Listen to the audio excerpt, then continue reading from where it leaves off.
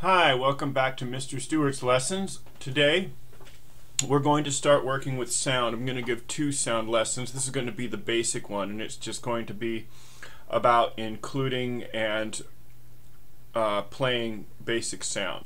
So the first hard part actually about including sounds is actually finding good sounds to put in your game, which are actually is actually not necessarily so easy. It's even harder than finding good images. Um, so I'm actually going to show you a couple places you can look uh, to find sounds that might be useful. Um, one is uh,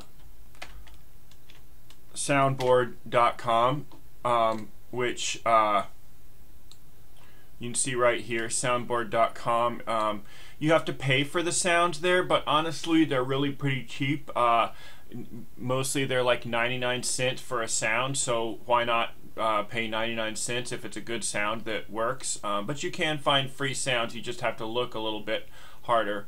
Um, I'm not going to use a sound uh, so, uh, sound from Soundboard today just because I'm going to be giving you the sound away for free and uh, it doesn't seem uh, fair in terms of copyright to buy a sound and then give it to everybody away for free. So I've downloaded a free sound, uh, one of the free sounds. The other sound that I've downloaded, which is the background music I'm going to use, um, I got from some place called freemusicarchive.org. Um, and freemusicarchive.org is kind of cool um, because uh, if you go there, um, they actually, if you look at their uh, terms down at the bottom, and this, this is something you should pay, pay attention to if you're making your own game. You'll notice in their terms of root use, they tell you tell you that uh, public that you can um, uh, you can use it. Um, they're public. You can um, put it in any kind of um, where is it? Uh, categories of use. Um, uh, you can put it in audio, video files, written descriptions, and so on, which means I can actually share this one with you. Um, this the other sound I'm going to use, which is going to be my background music. Um, that's just a couple places, certainly not the only place. Um, the first uh, so the first thing I'm going to do is I'm going to put in um, uh, background sound. Now, um, uh, I mean a background music. Now inside your uh, lesson here, you'll notice we already you probably already familiar with the images file. There's also a sound file, right? And sounds uh, folder, sorry, a sound folder is where all your sounds are. I've gotten I've got two in here. This Goto80. This is from an artist called Goto80, and it's a uh, this is an MP3 um, file, uh, which is going to be my background music. Um, this is uh, from Free Music Archive, and I downloaded it there. They have a bazillion things. That if you look in the ones called chip tunes, there's some great background music that you can use there, and this is uh, listed as free for use. And then I also have um, a mouse squeak, which is a free file that I just downloaded from the internet, which uh, actually doesn't. It's what it's a real mouse squeak rather than sort of a fake cartoon mouse squeak, which is kind of weird. It's not really what you expect mice to sound like, but that's all right.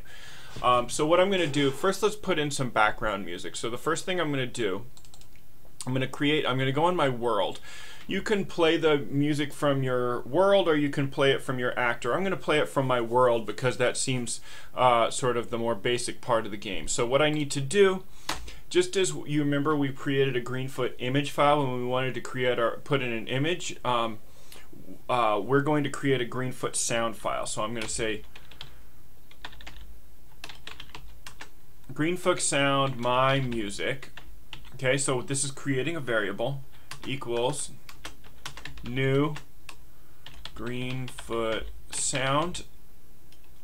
Okay, now in here uh, is going to be inside my parentheses, inside my quotes is going to be actually the name of the file. So I'm just going to copy and paste it from my folder. So this this file I would have already. You're, and if you go to my uh, Mr. Stewart's lessons and go to the download. Uh, uh, and and download the demo for this lesson, lesson 19. You're going to find the um, that that this uh, uh, sound will already be in there. But uh, if you download your own sound, all you have to do is drag it into this sounds folder inside your um, the folder that contains your lesson. So I'm going to copy this sound, uh, the name here, okay, and uh, I'm going to paste it here. And I know it's an MP3 file, so I'm going to do dot mp3 so this is my sound right? This is my right? This is the name of the file and inside my new greenfoot sound. So now I've created the sound. Um, and now all I want to do is I want to make it play right while the music is going. Um, I can put it in the prepare but that's actually not very good because then it starts playing even before the game starts playing. So I want to I'm gonna make an act method in my uh, world. So um, right now all I've done is I've created this this Greenfoot sound my this Greenfoot sound this variable called my music and it's a new Greenfoot sound and this is a file that I've downloaded and placed in my sound folder now what I'm going to do is I'm going to create an act method to play this so I'll say public void act and it's so simple all I have to do the variable, as I said, that I created before is called my music. So I'm going to say my music, which is my variable, period. And then I'm going to do control space. And because it's a Greenfoot sound, I can do anything that a Greenfoot sound can do, which in this case uh, is going to be play. Uh, you can put play or play loop. Um, actually, since it's in an act method, it's going to keep calling the, the, the play loop and play is going to do exactly the same thing. Um, the way the play method works is it's going to every time it's um, the every turn it's going to call up the sound and try and play it but if the sound's already playing it won't play it on top of each other. It'll just play it once. So uh, this mymusic.play, if you just put it inside the act method, it will just keep it playing over and over again. Um, and so play loop and play actually in this inside the act method are going to do the exact same thing. So I'm going to do close and I'll compile it and we'll see what's going to happen.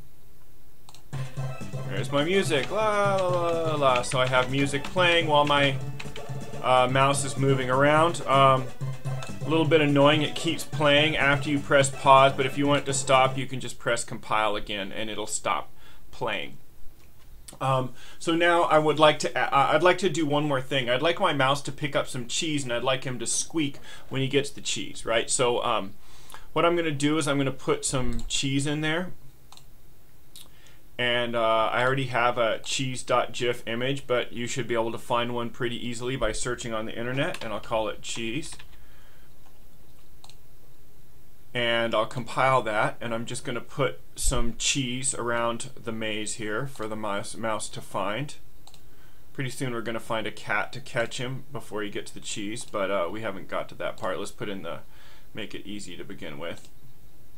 So uh, he's got some cheese here and uh, so um, so now and I'm just going to do save the world so all this cheese is already in there.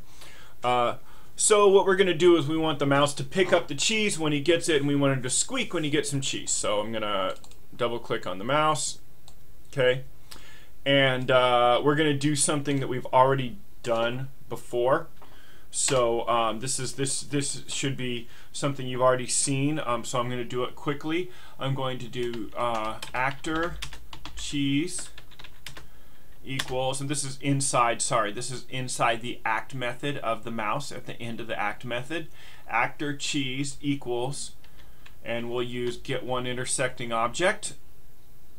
This should be pretty familiar to you guys by now if you've been following along with my lesson and we'll call it cheese.class, right? This just getting the, uh, trying to grab a cheese if we're on top of it. And then what I'm going to do is I'm going to say um, if, you probably know how, what happens next, cheese not equal null, well then that means we need to uh, First, we want to take the cheese out, so we need to get the world. World, my world equals, oops,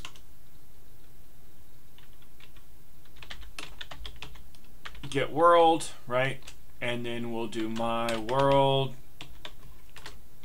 and we'll do remove object cheese. You should be familiar with this. And now all we have to do is we want we've um, we're we're going to uh, uh, we're going to create a sound. Okay. Um, the other sound that I have here is my is mouse squeak. This is a wave file .wav type file. We can play .mp3 or .wav or .aiff. As far as I know, there might be others that you can use as well. So I'm going to say um, squeak. going to make a uh, variable called squeak equals um, uh, new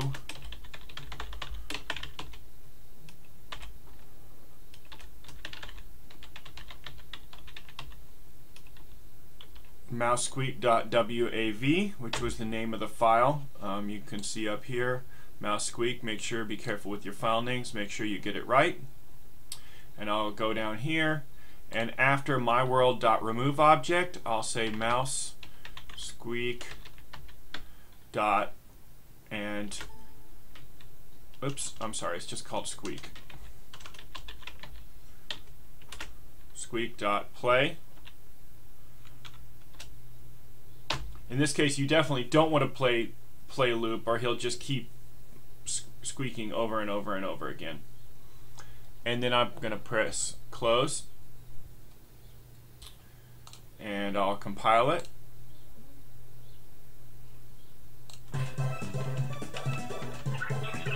And you can hear him. That's actually a real mouse sound, by the way, not just a cartoon mouse. I guess this is what mice really sound like because I downloaded it from some animal website about where mice really sound like. And we'll pause it, and if we want to stop the music again, we can press compile. You're probably thinking, boy, that music could get really annoying. It'd be nice to have a pause button and a way to stop the music if I don't want it to play. And in fact, there is going to be that in my next lesson where I'm going to do some more advanced things with the Greenfoot sound. I will see you then.